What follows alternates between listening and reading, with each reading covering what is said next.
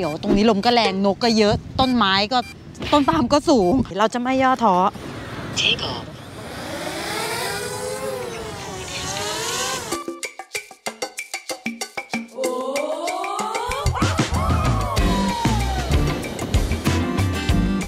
เขาดูอะไรกันอะชายหาดนี้เนี่ย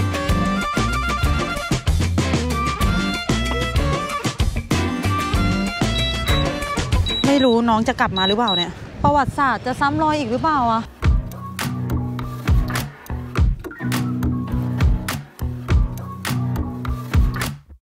Cutting the power lines, we're done talking about it. A spark turns into fire, and we're not sorry about it. นี่ข้างหน้าเราเองนะคะ You know เป็น we're onto something. ทะเลนะมหาสมุทรแปซิฟิกกำลังลงเนินเลย สวัสดีค่ะทุกคน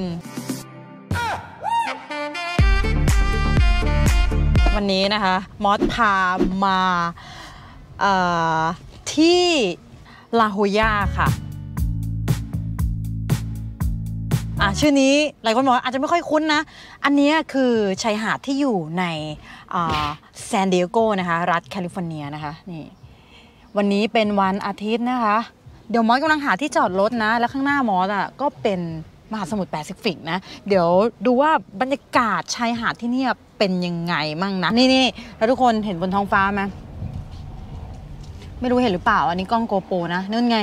เป็นแผ่นป้ายโฆษณานะคะ อันนั้นเขาจะใช้เครื่องบินลากแผ่นป้ายนะ อันนั้นเป็นโฆษณาเบียร์นะคะ น่าจะเป็นรสชาติใหม่ของเบียร์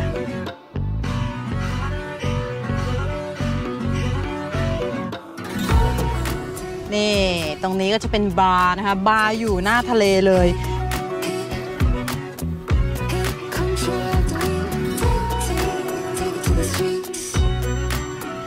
อันนั้นนะคะเป็นรถ lifeguard นะคะ รถเจ้าหน้าที่แบบชายฝั่งนะริมชายหาดก็มีของขายนะคะ แต่ว่าเขาจะขายพวกอะไร นี่แล้วดูซิว่าริมชายหาดที่นี่เขามีอะไรบ้าง อืม คนนั้นเขาน่าจะไปเล่นเซิร์ฟนะดูจากชุด เห็นถอดเสื้อเดินเดินๆกันอย่างนี้นี่อากาศข้างนอก 18 องศานะจ๊ะ แต่ว่าดูจ้ะยังมีรถไอติมมาจอดขายนะ 18 องศา ดูดิจะมีใครกินไหมแต่ตอนเนี้ยเราหาที่จอดอยู่แล้วดู รถติดยาวเลยค่ะทุกคน ยาวมากอืมมอสมาทะเลทีไรนะ ก่อนหน้านี้ที่ไปเอาซันตาบาบาร่าใช่ไหมฟ้าก็คึ้มอากาศก็หนาว วันนี้มาคิดว่าจะมีแดด ฟ้าก็คึ้มอากาศก็หนาวอีกแล้ว มาทะเลทีไรอากาศเย็นตลอดเลยเอออากาศที่มอสบอกว่าหนาว แต่คนก็เดินถือไอติมกันเยอะแยะเลยนะคะมอสก็ยังวนหาที่จอดอยู่นะทุกคน นี่เห็นไหมจริง ๆ แล้วเขามีนี่อะรถสกูตเตอร์ให้ใช้ด้วย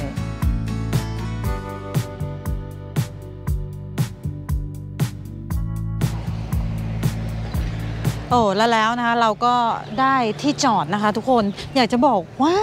ที่จอดหายากมากเลยนะ เพราะว่าวันนี้คนเยอะจริงๆนะแล้วเขาก็เดินกันเยอะแยะไปหมด น้องก็มานั่งชมวิวทะเลนะคะน้องหมาทะเลน่ารักจังไฮ he's so cute ดู นั่งรับลมนะ คือตอนนี้ทุกคนก็นั่งผ่อนคลายรับลมกันนะคะ เพราะว่าทางการก็อย่างที่บอกนะ ว่าออกมาข้างนอกเนี่ยเราสามารถถอดหน้ากากได้นะคะ แล้วมาริมทะเลอย่างเงี้ยเนาะหลายคนก็แบบอยากเอาหน้าปะทะกับคลื่น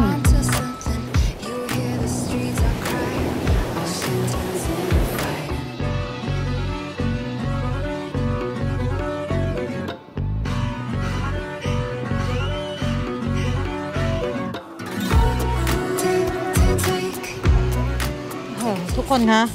นี่เป็นการมาทะเลที่ขนลุกมาก นี่ขนลุกเลยนะเนี่ย พูดถึงซานดิเอโกนะก็เป็นเมืองหนึ่งในแคลิฟอร์เนียนะคะเขาเรียกว่าอะไรนะซานดิเอโกเนี่ยอยู่ใต้สุดนะคะของรัฐแคลิฟอร์เนีย แล้วก็อยู่ติดกับเม็กซิโกเลยนะคะ อันเนี้ยนะคืออยู่ทางใต้เลยแล้วก็เขาก็จะมีทะเลหลายๆ ชายหาดที่สวยงามนะคะ หลายคนก็อาจจะ คุ้นชื่อดีนะซานดิโกเนี่ยในนงในหนังอะไรอย่างเงี้ยเยอะมากแล้วก็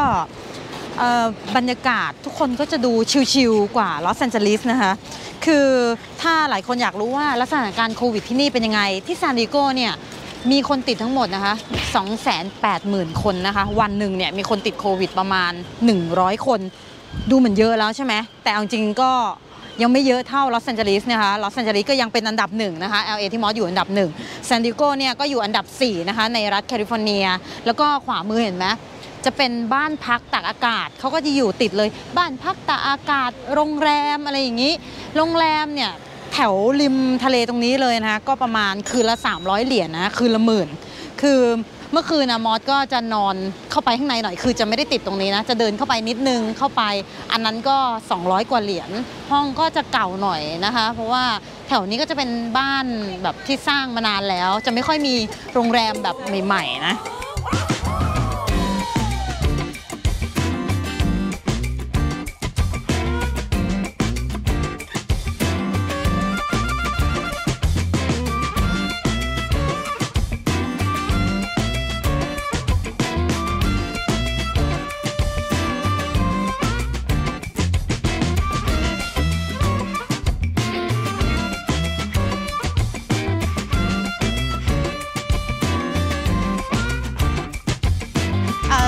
ที่เนี่ยตรงริมๆเนี่ยเขาจะไม่มีอาหารทะเลขายนะเขาจะมีแว่นตาขาย เป็นแบบคนเอาของเหมือน handmade อะมาวางขายนะคะก็เป็นพวกฝรั่งที่เขาเอาของมาวางเดี๋ยวมอสลองมาดูนะ อันนี้เขาเป็นอะไรอุ้ยอุ้ยนี่นี่นี่นกนกนกเห็นไหมเห็นไหม pelican ที่มอสถ้าถ้าแปลภาษาไทยมันเหมือนแปลว่านกนกกระทุงนะ เป็นในเขาเรียกอะไรเป็นนกที่ขนาดใหญ่มากๆเลยนะ ปากน้องจะใหญ่ๆยาวๆนะ ถ้าแบบเย็นๆน่ะน้องเขาจะบินมาเป็นฝูงเลยนะ นี่นี่อันนี้ก็เป็นพวกงาน art ที่มอสบอกนะเขาก็เอามาขาย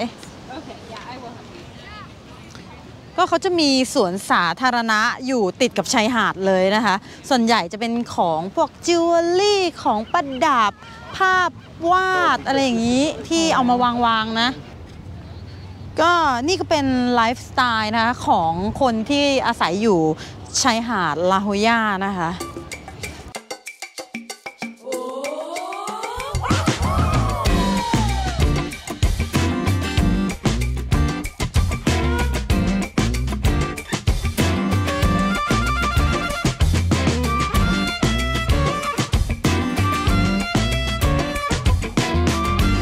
จะมาขายกันแต่เช้าแล้วหรือเปล่าเนี่ย เห็นเขาเริ่มเก็บเก็บร้านกันแล้วนะ นี่นี่อุ้ยตรงนี้นี่นก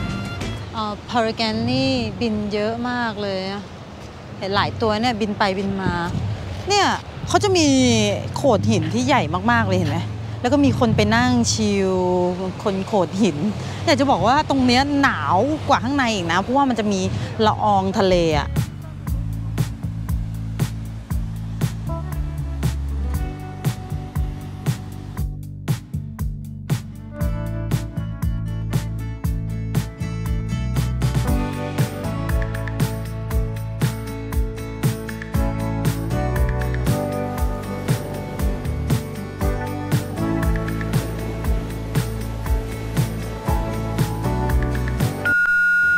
คนคะ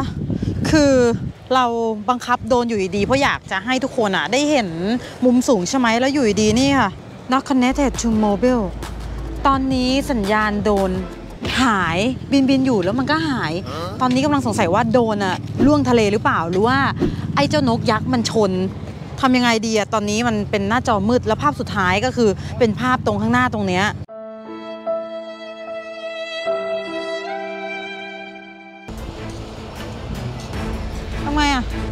วัติศาสตร์จะซ้ำรอยอีกหรือเปล่าอะตอนนี้เราเรียกมันกลับมานะคะ ได้ยินเสียงไหมเดี๋ยวรอดูดิ ไหนแล้วโฮมโฮมเราอยู่ เราต้องกลับไปที่เก่า ตอนนี้เรียกมันให้กลับบ้าน ไม่รู้น้องจะกลับมาหรือเปล่าเนี่ย กลับมาเถอะนะ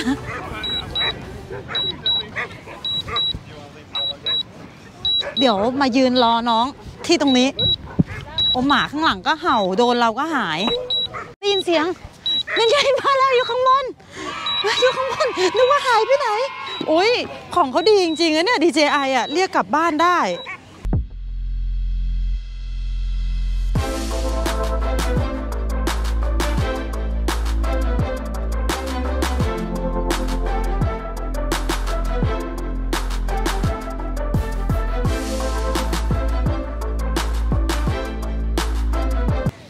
ไหนลงมาละ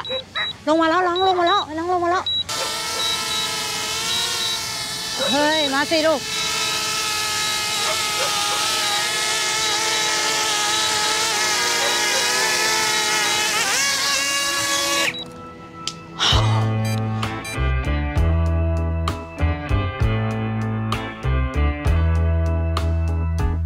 I failed you so many times. Mm. I ไม่อยากเสี่ยงค่ะ เก็บเก็บเก็บเก็บก่อน เนี่ยเห็นไหมเห็นไหม ขนาดลงมาข้างล่างแล้วก็ยังเป็นอย่างนี้ ใครเคยบินโดน DJI แล้วเจอปัญหานี้บ้างไหมคะ แบบว่าอยู่ดีมันไม่สามารถคอนเน็กไม่ได้ แต่ว่าสามารถเรียกน้องอกลับมาได้ ก็งงเหมือนกันนะ ถ้าใครรู้ช่วยคอมเมนต์บอกหน่อยนะคะ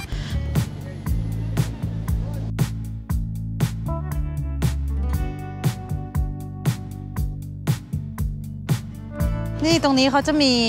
ให้ทำบาร์บีคิวได้นะคะ มีโต๊ะให้นั่งแล้วก็จะมีให้จุด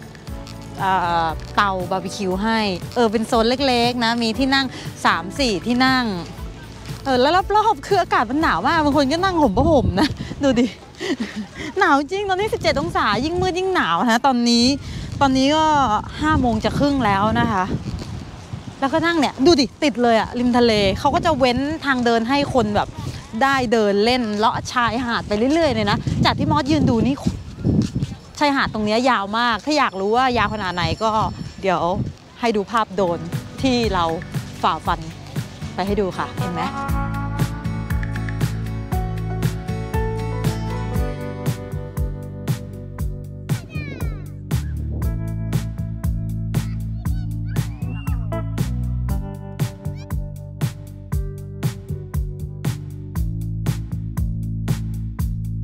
ายหาดลาฮุย่าเนี่ยเขาขึ้นชื่อเรื่องแมวน้ำแบบเป็นธรรมชาติที่เขาแบบมานอนกันเลยนะคะ เพราะว่าแมวน้ำเนี่ยเขาจะอยู่ตามโขดหินข้างล่างนะคะ บางทีมอสอะอาจจะมองไม่เห็นเป็นธรรมชาติที่เขาแบบมานอนกันเลยนะคะ และนี่ค่ะ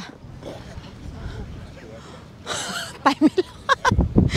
เราก็บอกว่าเราจะไม่ย่อท้อใช่ไหม แล้วเราอะก็จะบินบินเนี่ยโดนไปดูแมวน้ำเพราะแมวน้ำอยู่กลาง แต่ปรากฏว่า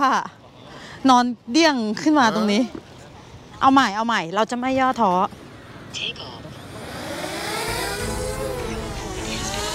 โอเคเพื่อทุกคนนะคะ เราจะยอมเสี่ยงหวังว่าโดนจะสัญญาณไม่หาย มันมันต้องสุดมันต้องสุดมันต้องไปดู ตอนนี้เขาบอกว่า strong wind นะคะ warning นะ ระวังนะ เพราะลมแรงมาก และน้องแมวน้ำอะอยู่ตรงกลางตรงนู้นมอสจะให้ทุกคนเห็น แล้วโดรนบินไปก็มีสิทธิ์ที่ลมพัดแรงแล้วก็ล่วงได้นะ แต่พี่ตากล้องบอกว่าจะลองบินไปเองนู่นไงเห็นไหมตรงนั้นอาจจะเป็นแมวน้ำอยู่เป็นกลุ่มเลยเห็นไหมกล้องมันมองไม่เห็นนะคะ คนคะช่วยส่งกำลังใจให้กับพี่ตากล้องเพราะพี่ตากล้องบอกเดี๋ยวเขาจะบินเองเลย ตอนนี้โดนอยู่บนหัวเราละ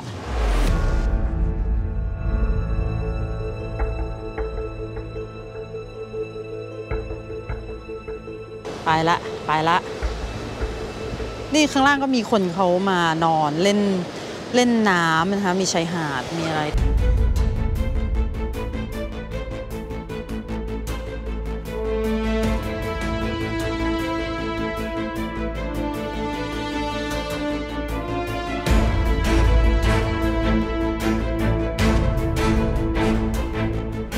สรุปแล้วลมเอาไม่อยู่นะ ก็ ขอโทษทุกคนด้วยนะคะ ที่เราไม่สามารถให้เห็นภาพโดน เอาไปใกล้ๆน้องแมวน้ำได้นะคะ กลับมาโอ้กลับมานะคะโผ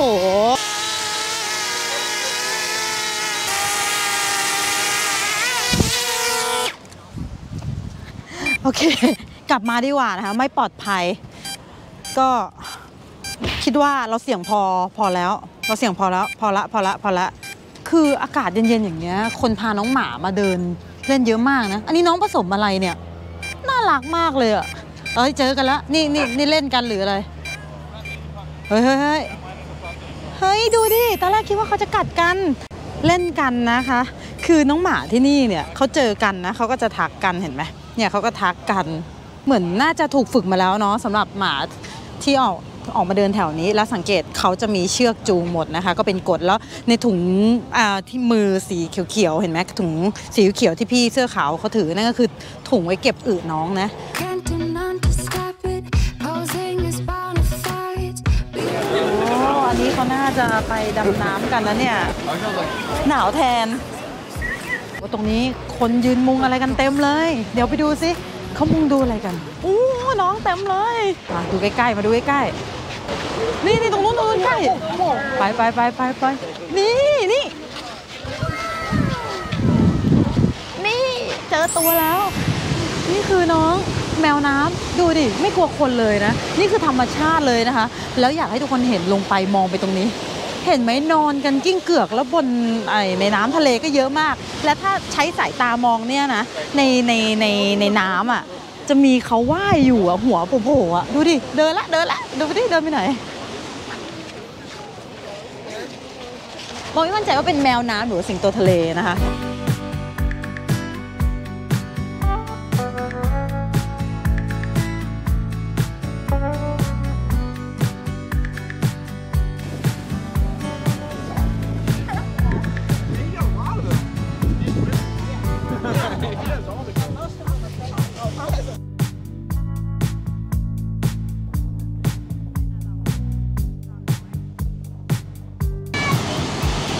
องน่ารักแบบนี้นะ มอสก็ขอถ่าย IG Story ฝากทุกคนด้วยนะคะ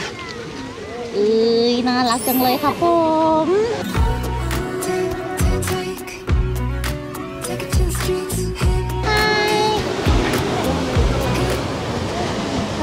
ไปละเราลองสังเกตไหมตรงนั้นมีนกนอนอยู่มีรังนกด้วย แต่เนี้ยมีหูแล้วหูเขาเล็กมากเลย เห็นปะหูน้อยๆ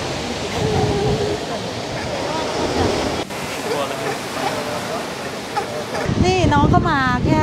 เซลฟี่ถ่ายรูปกับเรานะคะ แล้วเขาก็เดินลงไปแล้วเขาจะเป็นคีบตรงหางแล้วก็เดินนู่นๆๆอันนั้นอันตรงนั้นเล่นกัน ดูดิอันนั้นก็มีตัวน้อยนอนกันแบบเยอะมาก ตัวใหญ่ ๆดำๆมอสเดาว่าน่าจะเป็นสิงโตทะเลนะ เห็นไหมจะได้ยินเสียงอุ้งอุ้งแองแองตลอดนะ โอ้โหโน่นนู่น เจ้าถิ่นเปล่ากำลังน้องเขาคุยอะไรกันคะมีใครแปลได้ไหม ก็เป็นสัตว์ที่เลี้ยงลูกด้วยนมนะคะ แต่เขาบอกว่าตรงนี้มีทั้งแมวน้ำมีทั้งสิงโตทะเล มอสก็ไม่รู้เหมือนกันว่าแยกแยะยังไงนะคะ ก็ตรงนี้น่าจะเป็นอากาศดีเนาะเขาเลยให้เป็นขึ้นชื่อว่าเป็นชายหาดแมวน้ำนะคะ ถ้าเกิดว่าใครอยากมาก็ตรงนี้นะคะ หาดลาลาโฮยาบีชเนี่ย ก็อยู่ห่างจากตัวเมืองลอสแอนเจลิสนะคะ ประมาณ 200 กิโลเมตรนะคะ ก็มาได้นะคะ แล้วก็ เนี่ยยังมีความเป็นธรรมชาติอยู่นะ และสิ่งที่หมอชอบนะคะเขาไม่ได้มีป้ายนะว่าห้ามกระโดดลงไปเล่นห้ามอะไร แต่ว่าทุกคนน่ะเขาก็เหมือน